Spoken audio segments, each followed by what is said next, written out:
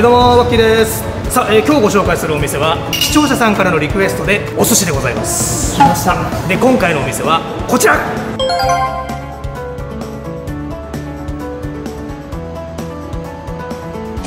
で今回リクエストいただいた方がケンアサさん回転寿司のおすすめあります。桃太郎寿司。高円寺をはじめ都内に複数店舗があり比較的リーズナブルな値段で本格的な江戸前寿司をえ堪能できます。えぜひぜひというえリクエストありがとうございます。歴史のあるお寿司屋さんで昭和55年創業。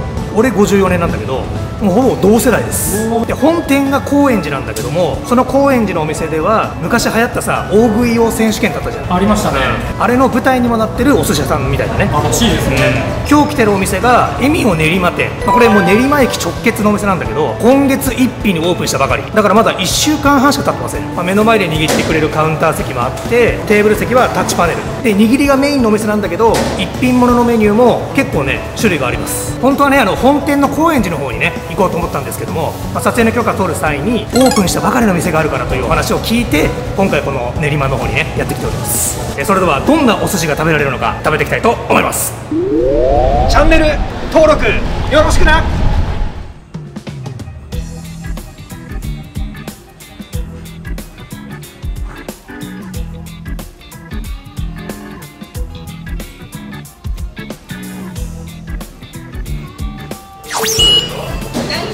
36度3分です正常ですいや店内さあのオープンしたばかりだから木のいい香りがするね。いいですね。ね。新しい匂いが。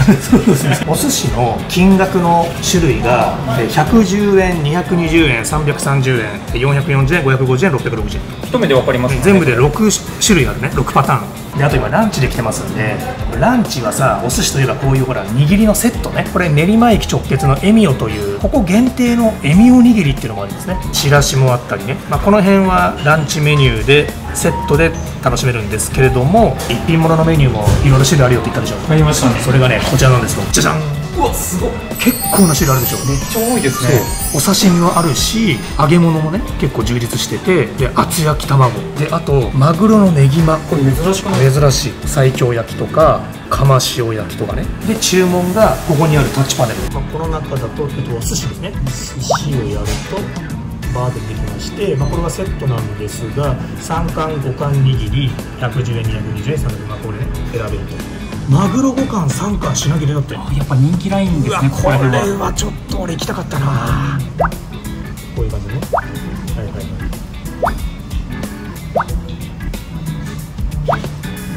さすがに人気店だねさすがですね。品切れがすごいよ、ん。でさっき店員さんに聞いたらねあのマグロのねぎま毎日売り切れるんだって。欲しいですね。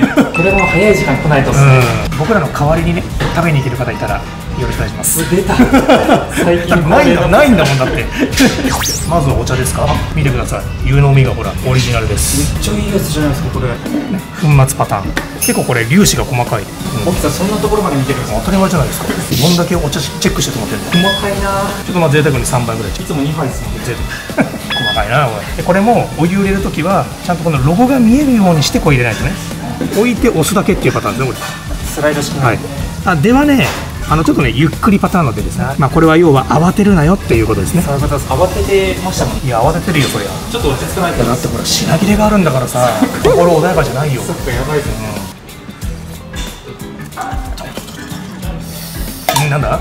ご褒美か。いやもう自分で入れろよいつも。よろしく僕カメラ持ってるんで。止めちゃっていいですか分かってる。いやそれしょうがないやつだないつまでやるんだよこのくだり。まあ僕はねあの毎回お寿司屋さん来たらあの中トロから食べるんですよ。とりあえずこれ一回注文しちゃいます。はい。これい。いな。ゲームみたいな。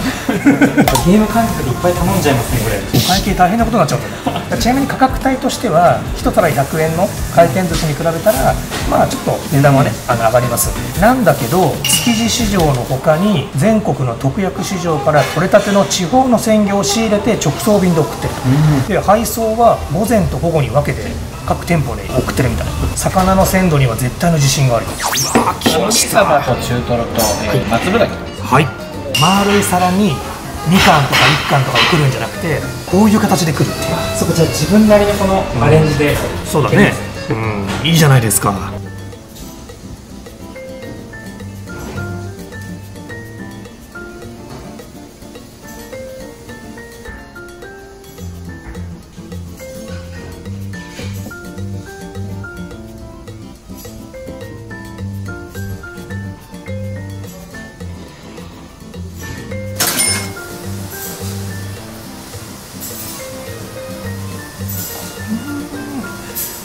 はチェーン店の味じゃないね。油のりまくりだね。とろける溶ける。なくなる。三段活用。でシャリのね硬さもちょうどいいしちゃんと握られてる。途中でまあ崩れないっていうのもあるしぎゅうぎゅう硬すぎもないっていう。で醤油にもう油の膜がもうぷわーってもう浮いちゃって浮いちゃってもう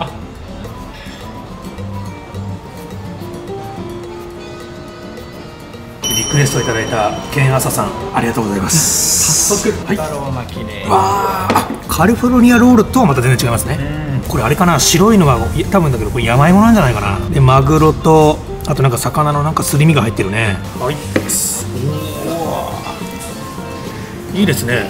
桃太郎寿司さんささっきから見てんだけど注文受けてもうそこの板前さんがしっかり丁寧に握ってるね、まあ全部もう見れるから。開放的ですもんそうそうそう続いてはね炙りサバですね。これはもうちょっと醤油つけずにいっちゃおうかな。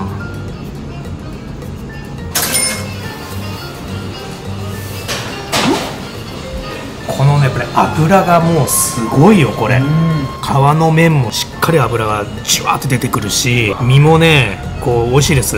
でこれがちょっとなんかねあの大根おろしなんだけどポン酢っぽい味なんだよね。なんかさっぱりしててネギもいい仕事してます。うんうん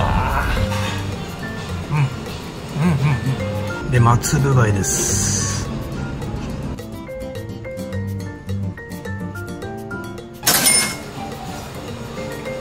うん。うん。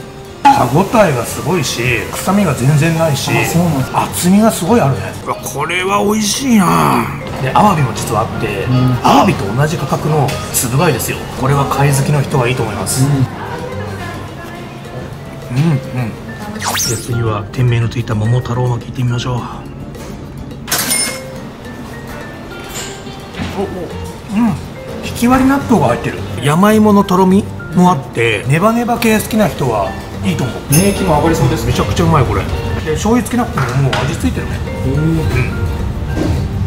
うん。さあゆっち桃太郎寿司どうですかエビ？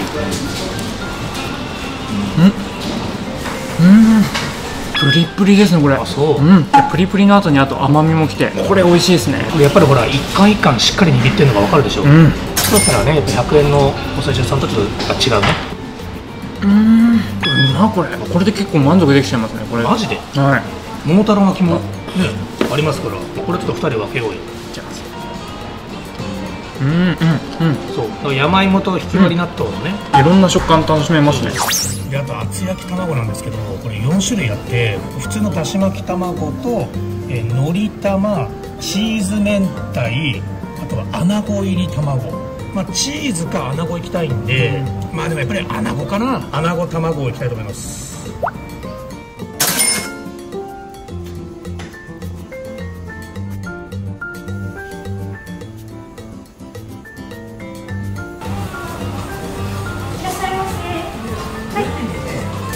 卵うまいな。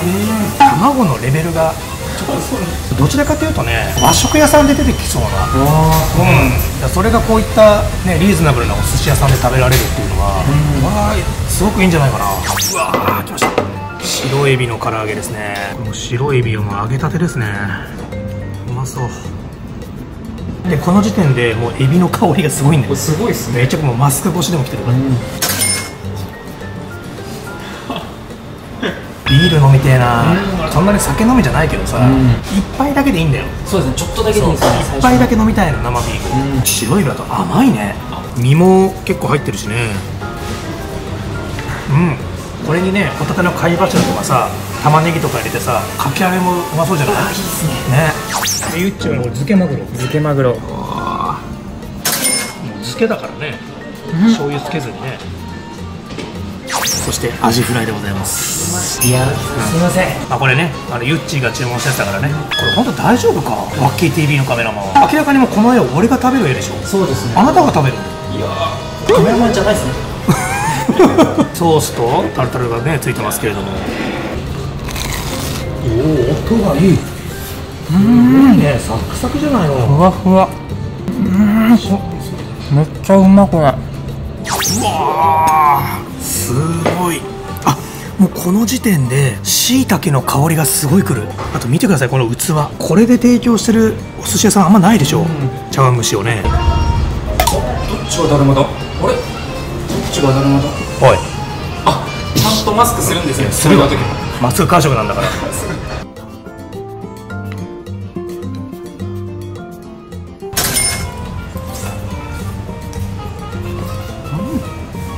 だしがうまいね。エビがゴロッと出てきましたよ。あと銀杏とね。あとこれは鶏肉かな。あとタケノコも入ってますね。大きいのが。具だくさん。具だくさんです。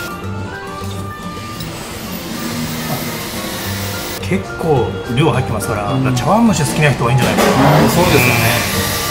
お茶手元にで取るのここだけなんですか？はい。ええ今までの桃太郎は、はい地域の方に密着してるというか、ええ。こっちは駅なんでいろんな方がいてああなるほど。そういう意味でちょっとあの違う部分あなるはほど。でお会計はこれ。非接触型のシステムね、あこれ安心ですね。